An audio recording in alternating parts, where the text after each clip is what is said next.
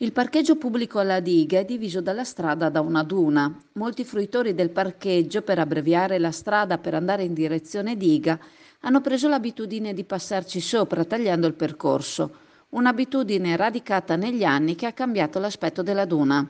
I tanti passi hanno finito con lo scavare un percorso, ma quello che la duna sta rivelando ha tutt'altro che l'aspetto di una duna naturale. Il solco profondo che si è creato camminando ha esposto quello che è l'interno della duna, sotto lo strato d'erba. Tra la sabbia che la forma ci sono residui che sembrano essere spazzatura. Ci sono pezzi di gomma piuma, sacchetti di nylon e altri residui a fare corpo unico con la duna, da non fare minimamente supporre che siano capitati lì per sbaglio in un secondo tempo, ma che facciano parte della duna stessa. In poche parole sono apparentemente conglobati nella duna.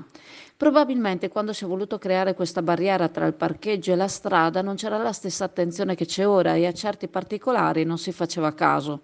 Se tutto fosse rimasto com'era, nessuno si sarebbe accorto di nulla, ma la creazione di quel sentiero che ogni anno si fa più profondo sta rivelando la natura della stessa duna. Molte strade, barriere, terrapieni e altri interventi dell'uomo nascondono spazzatura, ne siamo coscienti, ma vederla tornare alla luce dopo anni in cui era ben nascosta agli occhi di tutti fa pensare.